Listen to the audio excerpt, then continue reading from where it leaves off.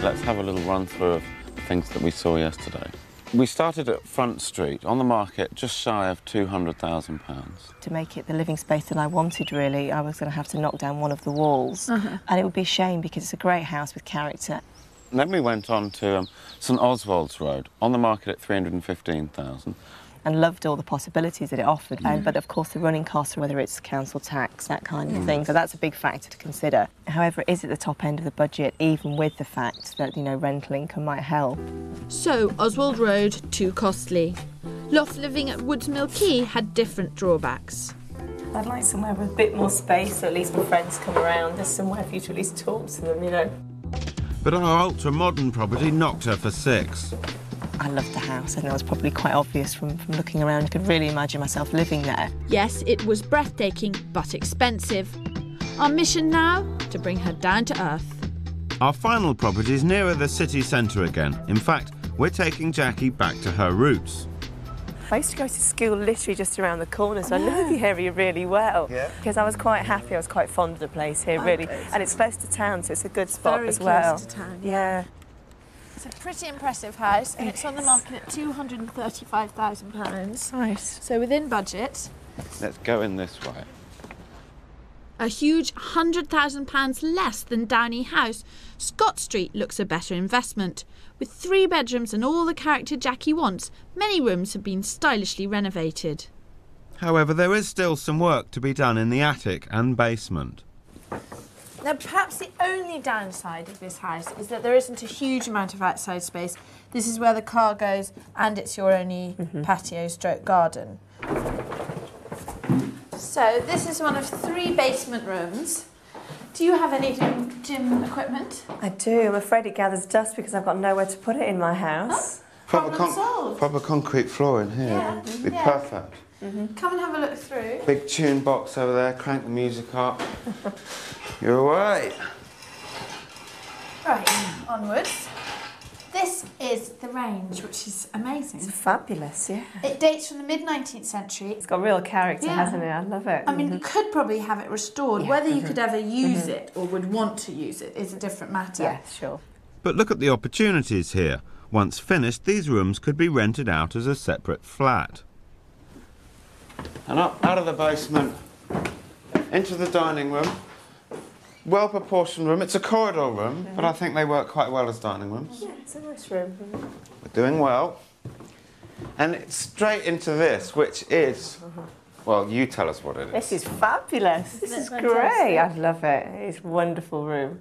Now, I'm glad you said it's a wonderful room because that is what it is. It is a room. Yep. Mm -hmm. The Nothing- kitchen is not fitted. It's all for sale, Right, but it's not included in the sale price of the house. Right. Mm-hmm. And you have to really watch it with kitchens like this because you can mm-hmm. walk in and you go, wow. And then you mm-hmm. walk in on the day you complete and it's like, "Oh, where's my kitchen gone? Completely gone, yeah. Look at this banister. It has been completely restored from here right to the top of the house. It's lovely. And it's been beautifully done. Um, now, on our left, the master bedroom. This is, well, pretty spectacular, really. I guess I didn't expect this at all. It's a staggering room, let's put it that way. yeah, it is. It's very dramatic. I got quite a shock when I walked in the room, really. So, it seems to be going well. The bathroom's not bad either. Goodness. I know, isn't it is fantastic? Fabulous. It's really fabulous. So luxurious and decadent. I could really imagine myself enjoying this bathroom. Really In is. fact, I want to stay here. Do you want to leave me to it while I light some candles? Okie doke, it's all yours. Well, another possibility. Out of the five we've seen, do any merit a second visit? One of them that I guess it was quite obvious that I was quite keen on was the Downey House in House, Green. yeah. So I was just seduced by the lifestyle. And the other property that I think has great potential was a period property in Scott Street. But I thought that had real investment potential and I could see myself making some money on that over the longer term. I'm still in a bit of a, a dilemma really about them both. They, they're both, they offer such different things and I've hmm. got to really start trying to clarify what I really want now. We're back at Downey House for a second viewing. And Jackie's gone to get her mum for a bit of moral support. Jackie's been bowled over, even though this property's at least £35,000 over her top budget. Will Mum be the voice of reason? quite stunning. Mm-hmm. Very bright, very light, very nice, very modern. Well, yeah, yeah, almost quite different to what I'd normally pick, isn't it? Really, but there's just The exact opposite. Can you see what I see in it? Yes, I can. Yeah, Right, it's yeah. beautiful. It is beautiful, yes. Oh, like mother, like daughter, she loves it too. Very bright and Yeah, airy. Yes, isn't it it is nice? She's It a is. great view out into the garden. You know, it's and there's something just really tranquil about it. It is very restful. Even though it does seem expensive for a two bedroomed house, a property's only worth what a buyer's willing to pay. If Jackie is going to throw caution to the wind, she's really got to look beneath that seductive veneer. And one thing that stands out in this house is its lack of furniture. Well, It did occur to me that what we've got here is a classic house seller's trick to try and put the dining table up against the wall, make the room look bigger. Yeah. It's useful to try to visualise how your own furniture will fit in a new room. If you take measurements along, you can mark out dimensions on the floor. This will give you a clear idea of whether you'll have enough space. It's something I hadn't thought of initially. You just get this false impression when you're walking through here that there's loads of room, but clearly, when, when you start to put in your own piece of furniture, that might not be the case. so I think you'd have to move this tree. You would. Very brave, Kirstie. Oh. oh. Never invite Kirstie into your home. Remember, open plan living can have its drawbacks. Jackie wants the perfect party pad, but what about the morning after? It is a fantastically light room, this, but I do think that you would need blackout blinds because otherwise, on a Sunday, you'd really be kept awake by the light. The other thing which concerns me that might keep you awake is downstairs noise. It's very open plan, this. If you had someone to stay and they came in the morning to make themselves a cup of tea in the kitchen, I think you'd find the noise came right up the stairs. Despite these faults, which there are a few that I've seen on the second visit, but um, I still love it. The major problem is still the price. Well, no need to make a decision yet. Let's go and see Scott Street first. At £235,000, Scott Street is perhaps the more practical option. It's a great size, isn't it? It I is. just love the proportions of it, really, and the high ceilings. It's nice with the two windows, plenty of light. Yeah, light. yeah, it does make a difference, really, yeah, it does doesn't make a difference, yeah. What do you think? Spectacular. Hmm. Mum likes this one too, so we're no nearer a decision. But this house also has limitations.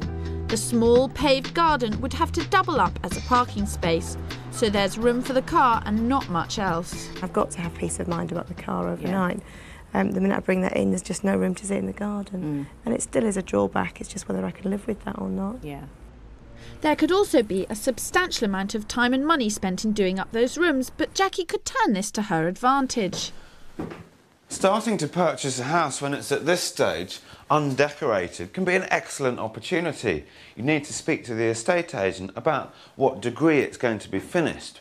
Once you've established that, you could be involved in the choices and make your own mark. On a second viewing, don't be too shy to have a good nose about. You might make some useful discoveries. I found something here that could add value to the house. I've been doing a bit of research. Ah. First of all, two of these houses have sold recently. Right. 180,000 and 185,000. Oh, right. mhm. Big houses, but I think their um, natural value has been affected by the guest houses that they're next door. Sure. mhm. But what I really wanted to show you, remember that bit on the landing that we thought was pretty unusable space between the two top bedrooms? Yes. mhm. I wonder what you could do if you put one of those on the side. That's a new mansard. That's been put on quite recently. Uh-huh. Now that says to me that the precedent's been set. The mm-hmm. planning authority would find it very difficult to turn down your application mm. if you wanted to put one of those on the side of your house. Sure. Mm-hmm. I thought then you could put a bathroom up the top there. It mm-hmm. would cost not very much. Okay. You, I mean, you'd have change out of two grand, and I think it would add more than it would cost to the Yeah, value of your house. Yeah. Time to choose. Option 1, Downey House, chic living, but at 335,000 it pulls on the purse strings. Or will she go for Scott Street? It needs a bit of work, but is within budget at £235,000. This house is wonderful. It's just fantastic. It's got so much potential. And the only negative point I can find with this house really is the courtyard. Yeah. Um, Not the courtyard itself, I hasten to add, but actually the fact when I have the car in the courtyard, so that it's all completely secure and I can sleep easy, I can't enjoy the courtyard. And that's the only problem I've got with this house. Unfortunately, that problem was just too big to overcome at Scott Street, leaving just one contender. I would like you to try going in with an offer at the Downey house to see whether they will laugh and wave us away. I thought I should go with 280 and see whether they'll seriously consider it. Would this be your best and final offer on that It house would be then? really. I wouldn't So be it's a one-shot one. It's a one shot, and if not, I will never go around thinking, what if? I'll just simply walk away and think it was not to be. Buying is often a battle between the practical and the emotional. You have to decide what's most important to you. In Jackie's case, her heart won over her head.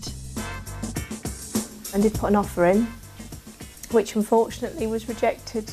So I'm still getting over it really. I'm still quite upset about that. You know, it was just a real loss. However, since then, a recent development is that on the off chance I spoke to a, a local agent and they had a property that really caught my eye. And I viewed it today and it's absolutely fabulous. It's great.